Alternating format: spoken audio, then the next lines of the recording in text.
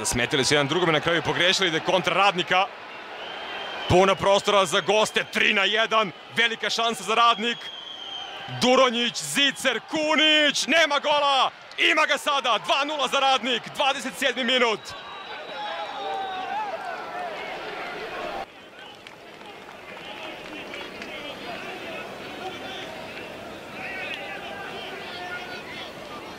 Kunić ovdje nije pogodio, odličan Aleksandar Jovanović, ali